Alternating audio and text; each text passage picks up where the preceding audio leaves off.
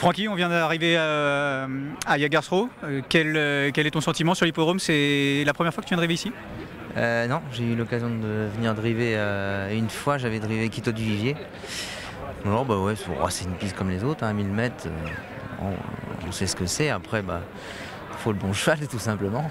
Et le bon cheval, j'ai l'impression que tu l'as euh, cette année. À, à ton avis, quels sont les choix à battre? Je sais pas, euh, d'après Fabrice, il m'a dit que le, le, cheval de- le 1, je crois que ça démarre très vite. Donc euh, c'est le cheval qui peut aller devant. Et puis euh, bah, il y a Commander Pro, hein, il n'est pas fatigué, même malgré ses 11 ans, il est toujours là. Et puis je crois qu'il va, il va encore tout donner. hein.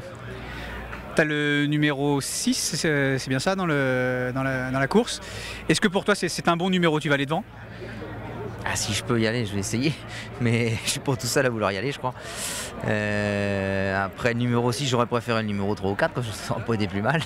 Mais bon, euh, bah, on va faire avec. hein. De toute façon, faut- maintenant qu'on est là, on va pas faire demi-tour. Tu as confiance en ton cheval et en ton entraîneur?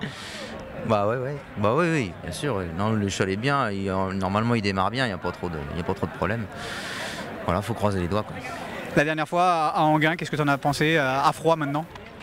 Bah, la dernière fois, euh, disons qu'en face, euh, Christophe m'a pas trop arrangé, il m'a fait forcer un petit peu, j'ai fait 100 mètres un petit peu, j'ai fait 100 mètres vite, et c'est ce qui m'a coûté la victoire.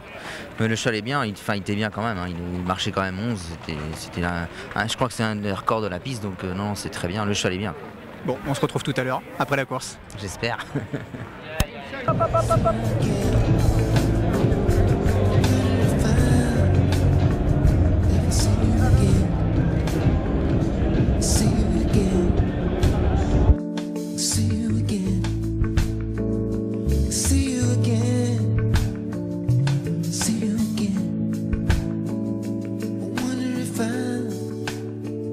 ever see you again.